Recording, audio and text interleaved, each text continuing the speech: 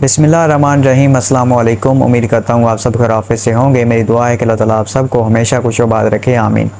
बहुत सारे बहन भाई कमेंट सेक्शन के अंदर और वैसे मैसेज करके पूछ रहे थे कि हैदर भाई इंजीनियर साहब के ख़िलाफ़ जो है वो जो लॉन्ग मार्च किया गया था और इंजीनियर साहब के ख़िलाफ़ एफ़ आई आर कटी थी तो उसके ऊपर क्या लेटेस्ट अपडेट है? क्योंकि मुखालफी की जानब से तो बहुत ही ख़तरनाक खबरें सुनने को मिल रही हैं कि वो इंजीनियर साहब को भी जो है वो ये कर देंगे, वो कर देंगे।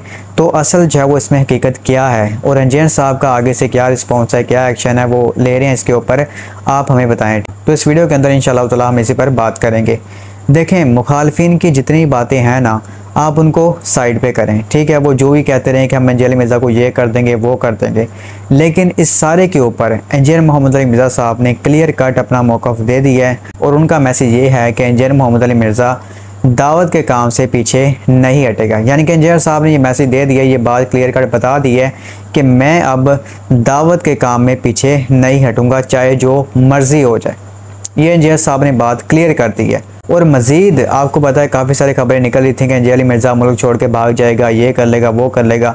तो उन्होंने कहा है कि मैं मुल्क छोड़ के कहीं नहीं जाऊँगा। हालाँकि उनको बहुत सारी ऑफ़र्स भी की जा रही हैं उनके स्टूडेंट्स की तरफ़ से, बल्कि उनके भाई जो है इंग्लैंड के अंदर रहते हैं, उनको तो ज़्यादा इस बात से आसानी है।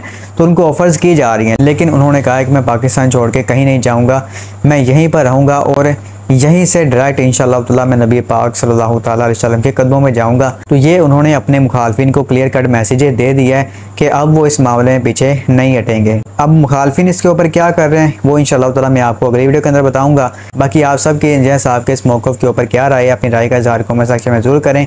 बाकी अल्लाह पाक से दुआ है कि अल्लाह पाक हम सबको हक सच बयान करने की तोफ़ी फरमाए। आमीन रबालमीन असल वरहमल वर्का